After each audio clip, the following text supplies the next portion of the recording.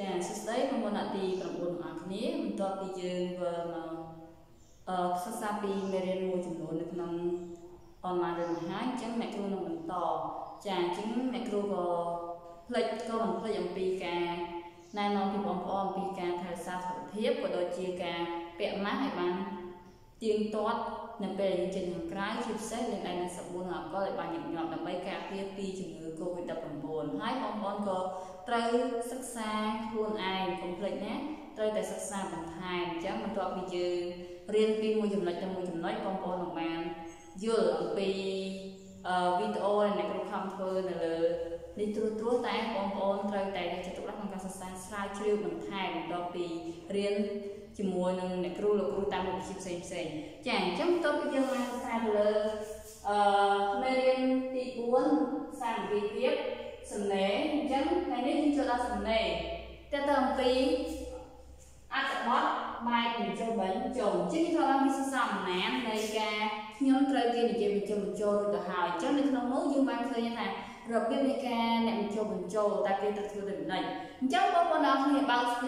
សៀវភៅភាសាខ្មែរ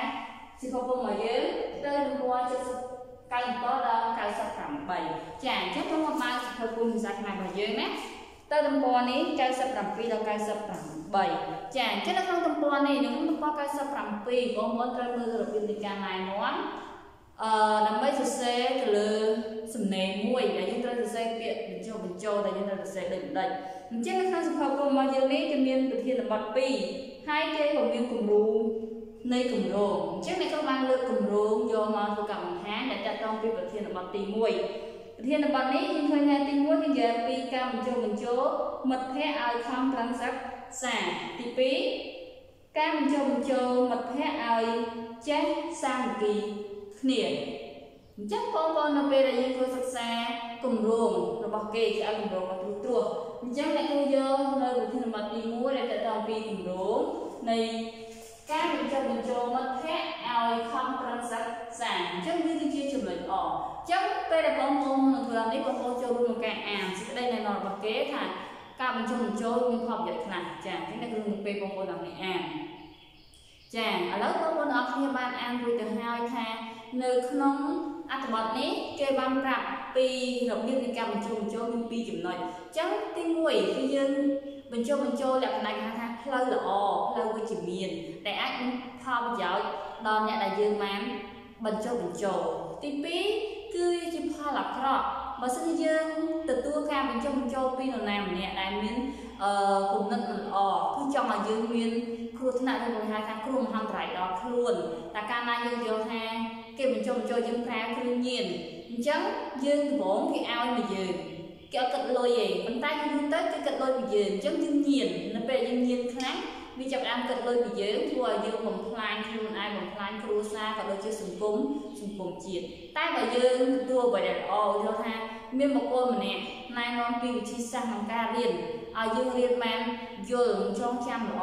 ចឹងបងប្អូនធ្វើការអនុវត្តគេថាព្រលឹមណាអញ្ចឹងយើងងើបអានសិភៅអញ្ចឹងបងប្អូនអានសិភៅឲ្យបាន2ក៏3ទំព័រសិនទៅដើម្បីដោយសារអីសារពេលព្រឹកឡើងព្រលឹមឡើងគ្រូក្បាលយើងវាស្រឡះល្អហើយពេលដែលអានទៅមានការចងចាំបានបានល្អអញ្ចឹងបងប្អូនត្រូវធ្វើការអានសិភៅអញ្ចឹងការដែលយើងអនុវត្តរាល់ថ្ងៃ អញ្ចឹងផលប្រយោជន៍ការចម្រើនគឺបានមកលើយើងយើងបានដឹងច្រើនចំណេះចេះច្រើនអានោះគេហៅថាការបញ្ចូលបញ្ចូលមួយធ្វើម៉េចឲ្យយើងមានប្រសិទ្ធភាពឬក៏ផលប្រយោជន៍សម្រាប់ខ្លួនឯងហេឥឡូវបន្តពីបងប្អូនអានរួចទៅហើយអញ្ចឹងអ្នកគ្រូវើមកមើលគម្រោងរបស់គេអញ្ចឹងគម្រោងរបស់គេគឺមាន3ចំណុចណាបងប្អូនទី1យើងហៅថា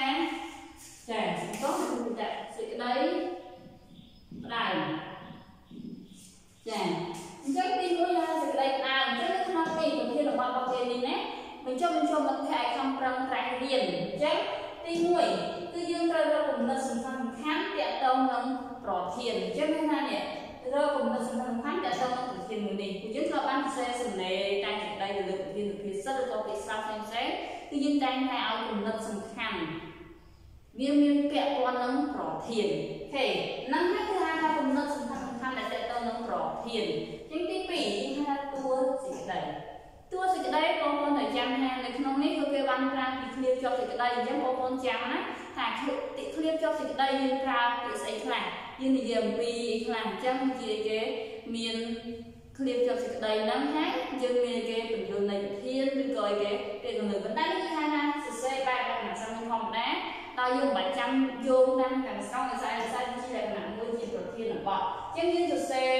ប្រហែលមើលតាមចំនួនរបស់គេឃ្លាជាប់សេចក្តីយើងត្រូវនិយាយខ្លះអញ្ចឹងចំណុចទី1ចាចំណុចទី1យើងយកពីគេការបង្ហាញពីមូលហេតុអញ្ចឹងការបង្ហាញពីគេបង្ហាញពីមូលហេតុនៃការសិក្សាអញ្ចឹងការសិក្សារបស់យើងនៅពេលយើងសិក្សាយើងនឹងធ្វើបានដូចខ្លះនេះតម្លៃនៃចំណេះដឹង នៃការសាមគ្គីឬគំនិតអស់ទាញបញ្ចុះបញ្ចូលដោយចំនួនអស់ទាញផ្សេងផ្សេងអញ្ចឹងបងប្អូនមើលណាគម្រោងគេក្នុងនេះដល់ពេលចំណុចទី2យើងយកពីគេសន្និដ្ឋានអញ្ចឹងសន្និដ្ឋានយើងត្រូវសន្និដ្ឋានតកតអំពីការសិក្សារបស់យើងយើងក្រៅពីការប្រែការសិក្សារៀនសូត្រឡើងវិញទៅទទួលបានផលប្រយោជន៍ខ្លះយើងរៀនពូកែជាមុនយើងចេះដោះស្រាយបញ្ហានេះយើងចេះដោះស្រាយបញ្ហានោះ បានមានគេហៅថាអនុវត្តបានច្រើនជាងការពីមុនដែលយើងធ្លាប់ពីមុនយើងធ្លាប់ជាមនុស្សជាជាក្នុងការសិក្សារៀនរៀនសូត្រអូខេដល់ពេលចំណុចទី3យើងហៅថាសេចក្តីបញ្ចប់សេចក្តីបញ្ចប់បងប្អូនមើលគេហៅថាមតិតខ្លួនទី2គេហៅថាឲ្យតម្លៃលើគំនិតវិធានដែលប្រើជំនួយអស់ទី3ខ្លះទី3យើងហៅថាឲ្យតម្លៃទៅលើសក្តានុពលនៃចំណេះវិជ្ជានិងសាមគ្គីឬក៏សាមគ្គីអញ្ចឹងពេលដែលបងប្អូន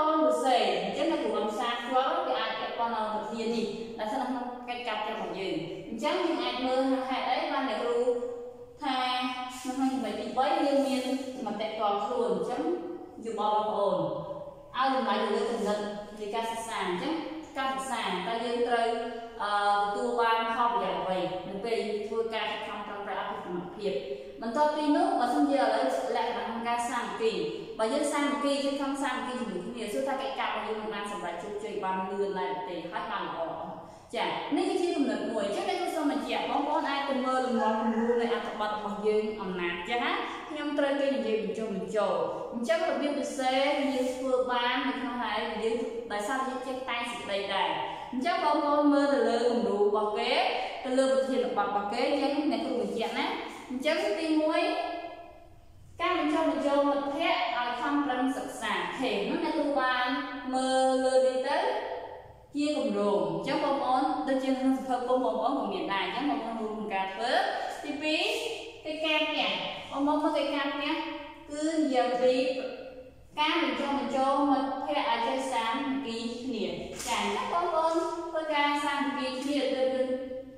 ការងាររបស់យើងទទួលបានសម្រេចជោគជោគជ័យសាមគ្គីមួយយ៉ាងសាមគ្គីជាភ្លុងមួយដ៏ធំក្នុងការសម្រេចគោលដៅរបស់យើងចា៎អញ្ចឹងបងប្អូនចូលរួមក្នុងការកាត់ អឺគម្រោងតែងនៅលើក្តារខ្ញុំចូលសភើដែរបងប្អូនបន្ទាប់មកបងប្អូនធ្វើកិច្ចការផ្ទះផ្ញើអ្នកគ្រូវិញទៅតាមពេលវេលាបញ្ជាក់ពិន្ទុ50%នៅលើកិច្ចការរៀនអនឡាញហើយនៅ50%ទៀតនៅលើការប្រឡងអញ្ចឹងបងប្អូនសូមផ្ញើអ្នកគ្រូបានទីតគ្រប់គ្នា